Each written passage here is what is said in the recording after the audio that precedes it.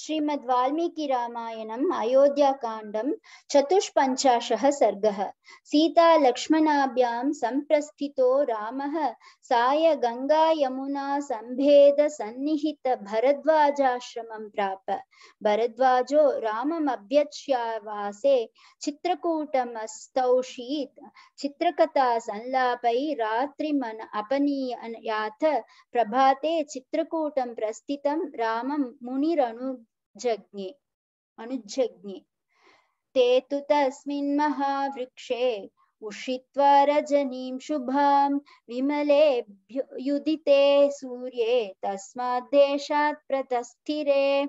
यत्र भागीरथीं गङ्गां प्रवर्तते, जग्मुस्तं देशमुद्दिश्य विगाह्या सुमहद्वनम् ते भूमिभागान् विविधान् देशांशापि मनोहरान्, अदृष्टपूर्वान् पश्यन्तस्तत्र, तत्र यशस्विनः, यथा क्षेमेन सम्पश्यन् पुष्पितान्, विविधान् द्रुमान्, निर्वृत्तमात्रे दिवसे रामः सौमित्रिमब्रवीत् प्रयागतमिबितस् प्रयागतमि पश्य सौमित्रे धूममुत्तमम् अग्रे भगवतः क्रेतुं केतुं मन्ये सन्निहितो मुनिः नूनं प्राप्ता स्म संवेदं गङ्गा यमुनयोर् वयं तथा हि श्रूयते शब्दो वारिणो वारिदर्शजग वारिघर्षजः दारुणी परिभिन्नानि वनजैरुष जीविभिः छिन्नाश्चय्याश्रमे चैते दृश्यन्ते विविधा द्रुमाः।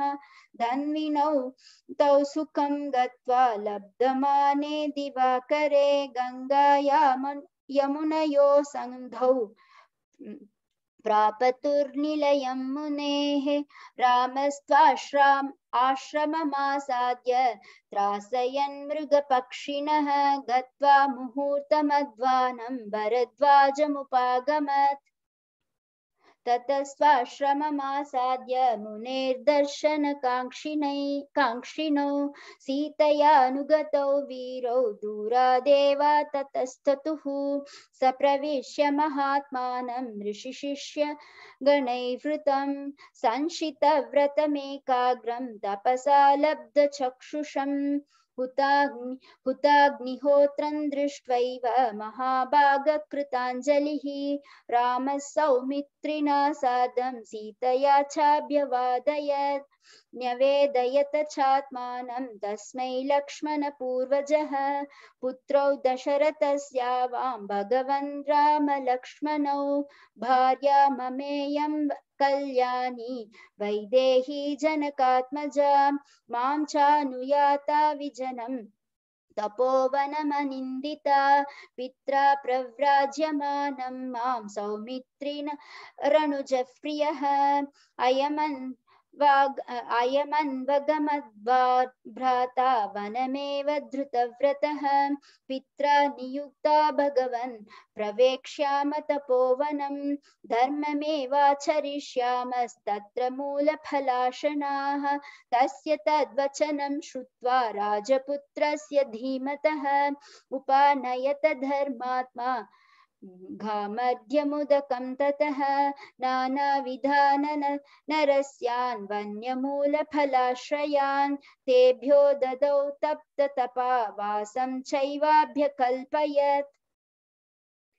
मृगपक्षिभिरासीनौ मुनिभिश्च समन्ततः राममागमध्यर्च्य मध्यर्च्य स्वागते गगनागतं मुनिः प्रतिगृह्य तु तामर्चामुपाविष्टं च स राघवं भरद्वाजोऽब्रवीत्र वाक्यं धर्मयुक्तमिदं तदा चिरस्य खलु काकुत्स्थ पश्याभ्यहु पश्याम् यः मुपागतं श्रुतं तव मया चैव।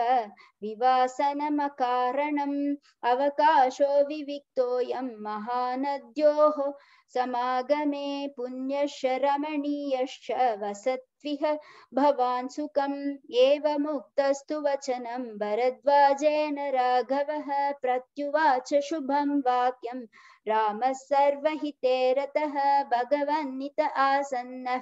पौरजानपदो जनः सुदर्शमिह माँ प्रेक्ष्य।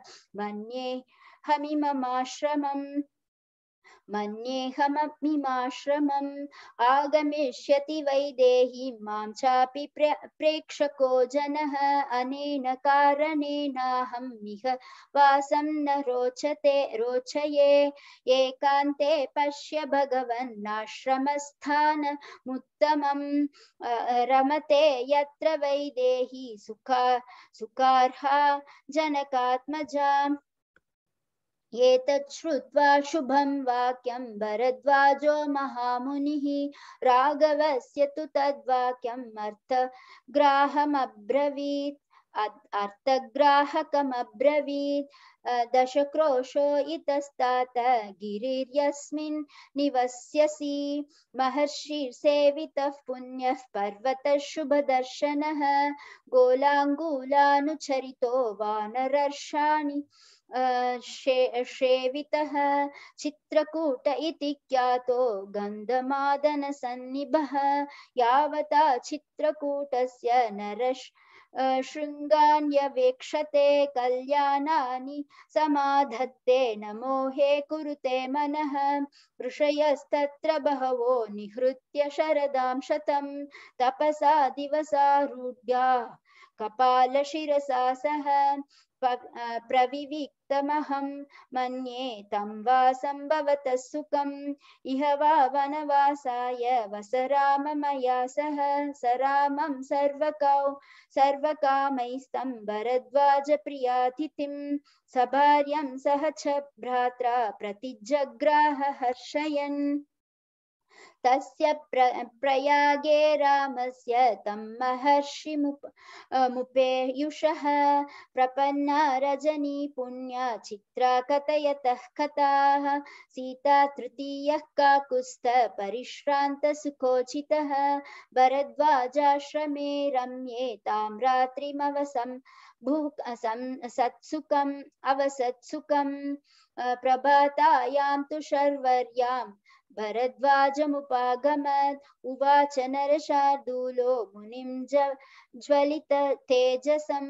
शर्वरीं भगवन्नद्य सत्यशीलतवाश्रमे उषिता स्मोह वसतिं मनिं जानातु नो भवान्। रात्र्यां तु तस्यां व्युत्पुष्टायां भरद्वाजो ब्रवीत्।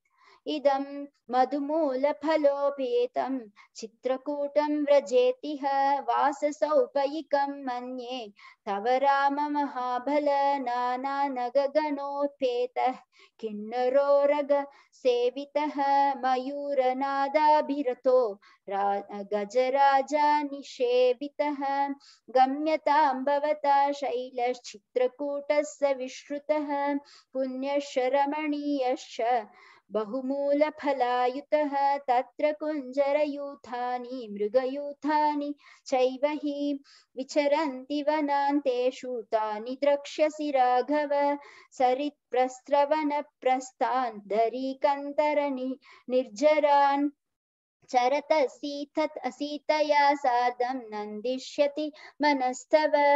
प्र प्रहृष्टको या शिष्टभको किल स्वनैर् विनो विनोदयन्तं च सुखं परं शिवं।